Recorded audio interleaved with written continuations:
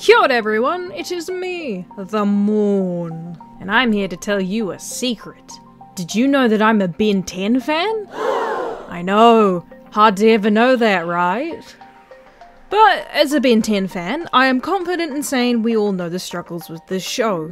The world, concepts, and designs are often amazing, bringing forth such a creative space built up by the creators, artists, and writers of this series. It's encouraged us fans to be just as creative, but that doesn't mean it doesn't come without flaws. Now, I would like to state that I do enjoy this series.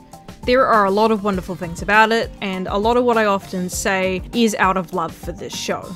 But as a mostly stable person, I am also willing to admit when something I like has its problems, and boy does this show have its problems. For those who mostly follow me on Tumblr, know that I have been trying to rewrite the series to try and piece it together in a more structural way, wanting to use elements of all versions of the series to try and bring my own potential towards it. So this is all out of love, and I can promise you that. So today I decided to try and make a more semi-professional video on me redesigning Ben 10 characters and suggesting ways I would handle them as a character as I do so. Today, I will be handling the collective group of main characters for all three series, Ben, Gwen, Kevin, Rook, and Grandpa Max. So, without further ado, I present to you my own version of the Alien Force crew.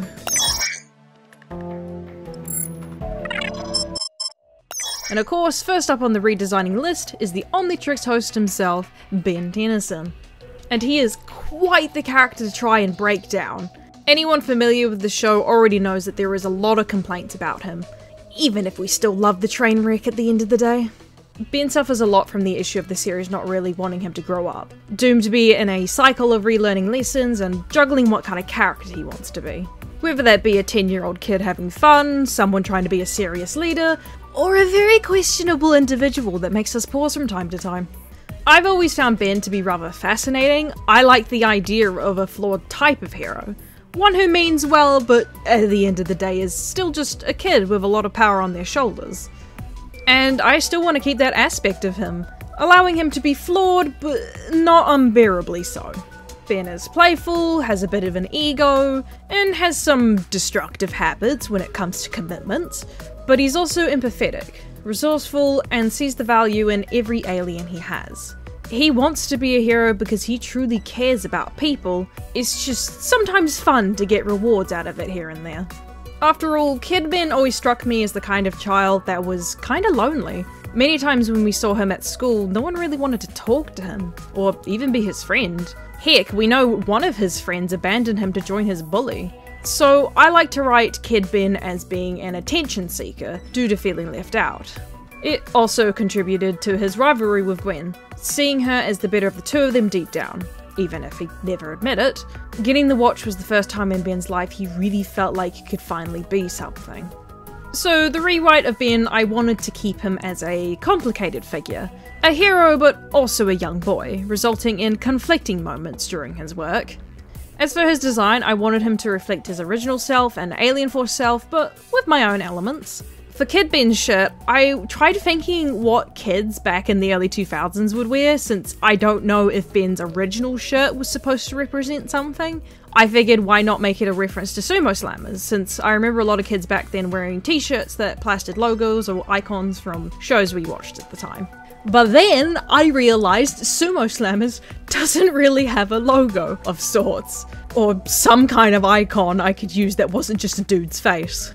So I ended up just grabbing the ears off of a box we see and saying that the outfit is supposed to be modelled after a character's shirt from the show. Maybe like Ishiyama's sidekick or something.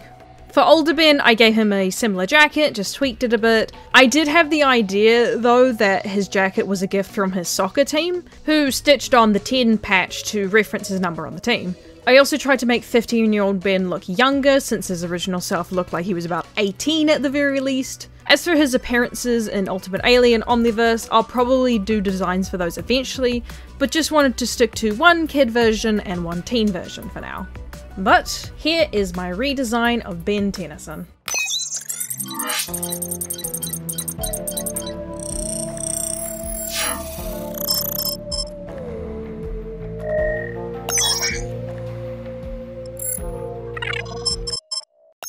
Now we move on to the next cousin, Gwen Tennyson.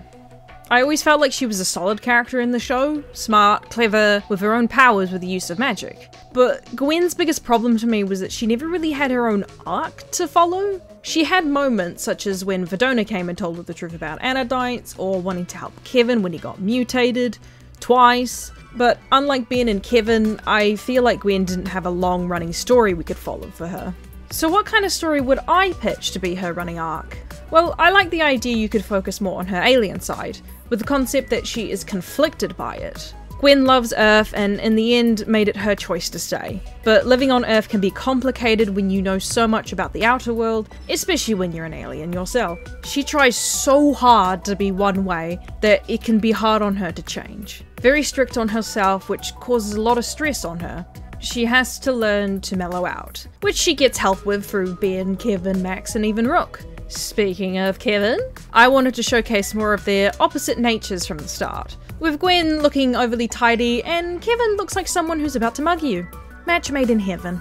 Their relationship would take more time to develop as well, instead of happening in the course of one episode. Gwen being the most willing to help Kevin, but still keeps her guard up around him. Eventually, the pair start having mutual attraction to each other. I like the idea it starts off with Gwen freaking out about the crush and Kevin being all confident about it, but the moment they try and make it serious, suddenly Gwen has handle on things and Kevin doesn't know the first thing about committed relationships.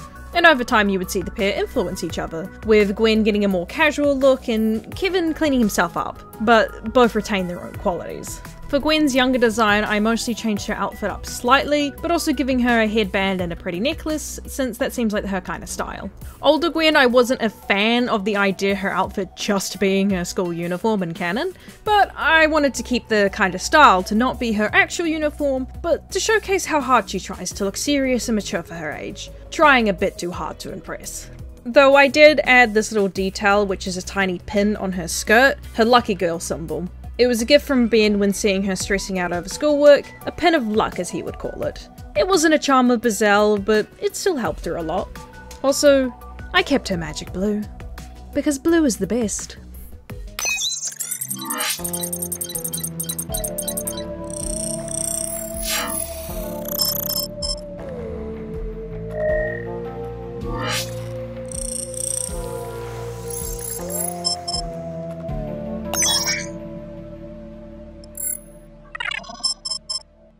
And now we have the roller coaster plot driven man himself, Kevin Levin. If anyone thought Ben had a hard time with the writers, then they obviously haven't met Kevin. He can't even stop changing his backstory. So I will just lay it out. I am keeping him an alien, Osmosian's a canon, and Aggregor is just a knock job for other reasons. Though I'm still going to give Kevin a hard time with his story, so you don't need to worry about that. His family history is a mess though. His father Devin was a plumber who met his mother Quinn on Earth during a mission. Right after Kevin was born, Devin was supposed to retire and become a full-time family man, but was pulled away to one final mission that he died on, leaving Quinn a single mother to raise her alien baby, which was not easy. This all eventually led to Kevin eventually running away and having issues towards Earth. A running story I want to have with Kevin is his lack of care towards the planet he was born on, because he never fit in, finding his footing out in space and finding it way more fun out there. Why would he ever want to go back to the place that ruined him? Though that might just be him misplacing his anger. I still want to keep Kevin's villain and redemption arc, but allow it to be paced out better. A bridge that doesn't feel so sudden. So he's less of a monster by the end of the original series, but still not a great person during the start of Alien Force? The member of the team who's seen a lot by the time he's 16 and knows a lot of how the world works already, even if others may disagree with him. With his design, I wanted his kid self to look like that kind of person who bullied other kids on the playground, but when looking closely, you can tell he's not doing the best. Torn clothes, patchwork done to his shirt that's been falling apart for a while, a jacket that doesn't look like it actually keeps him warm, a true street gremlin. Meanwhile, older Kevin hit the growth spurt early, looking more like he's almost 19 than 16. This is mostly in reference to how we all knew that one kid in school who came back after the holidays and hit puberty all at once. You know what I'm talking about. His clothes are also pretty ragged, along with his general appearance. I wanted to lean into the idea that when Gwen and Ben meet him again, they presume he dresses this way on purpose to look tough and edgy, but eventually learn that Kevin is actually really bad with his money when it comes to self-care. He'll put it all towards his car and other investments rather than better clothes for himself. Thankfully, over time, the influence of his new friends help him to learn to take better care of himself even if he keeps aspects of the aesthetic over time.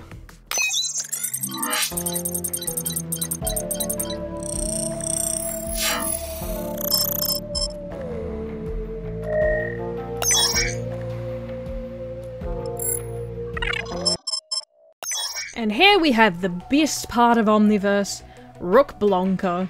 I didn't change much with him as he's a solid character and design, but that doesn't mean I couldn't tweak some things. Rook is interesting in that he did have a couple of running character arcs, whether that be with his family, sticking too close to the rulebook, or his original issues with Ben back when the two didn't entirely get along. But I always felt like some of these just fizzled out or weren't as prominent as they should be. This might be because Omniverse had a lot more scattered episodes and fillers, but I think if you slightly adjust Rook stuff, it could be quite entertaining have a couple of more episodes about his homeworld or family, including with his mother or the two other sisters we barely got to know much about. I'd even kill for some more episodes with his girlfriend, because it's honestly really cute he's already in a relationship with someone, which makes sense, it's Rook, I would have been surprised if this man didn't already have a date. If I were to throw something else in there, I think it would be fun to have a much later arc where Max hints to Rook that someday he wants him to take his place, which I imagine Rook would feel honoured by, but perhaps quite nervous about. Indicating that maybe Rook never really thought about how far he was going to go within the job, as he was happy enough being told what to do. I think what I'm really asking here for is more Rook. For his design, I wanted to keep the proto armor style, but fuse it with the original plumber outfit, given that it's supposed to be the next step for plumber gear. I wanted to make that more clear. I also made Rook a little bit more limber, but kept his odd proportions, such as his wide elbows and knee regions, just translated into my style. Also, regarding his age, I am making him roughly two years older than Ben, who is about 17 by the time of Omniverse, making Rook 19 because I need to let these characters age instead of sitting in the void. But let us move on to our final member of the day.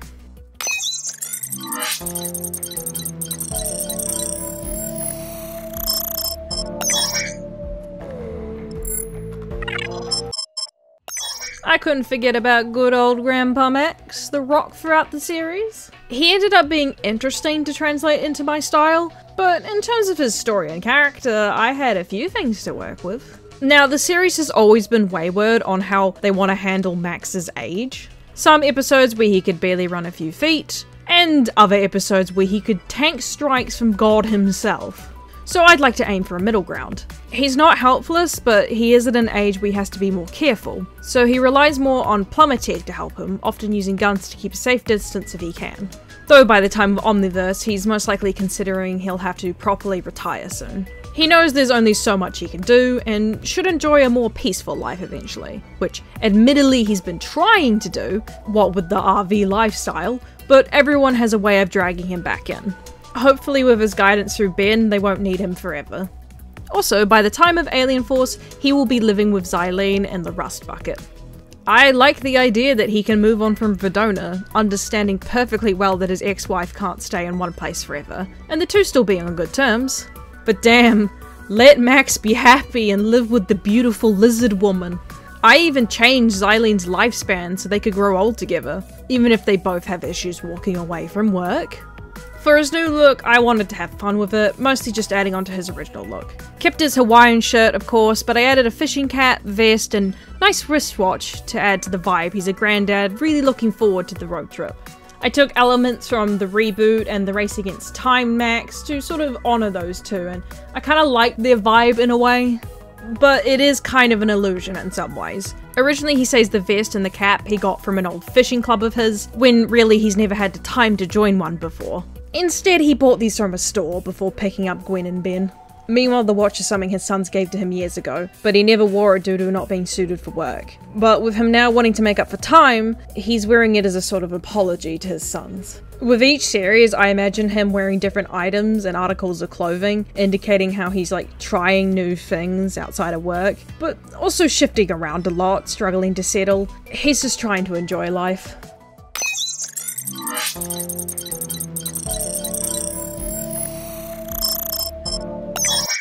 And that is the entire crew. I had a fun time recreating them from my own ideas while still trying to respect the original concept. I hope you all enjoyed my drawings today. I'll be posting the proper renders on my socials, which you can find down below, so please check them out and support me if you can, it means a lot. The next redesign video will be focusing on another group of heroes, a squad of alien kids we all know and love. Please leave a like and a comment, and I shall see you all next time.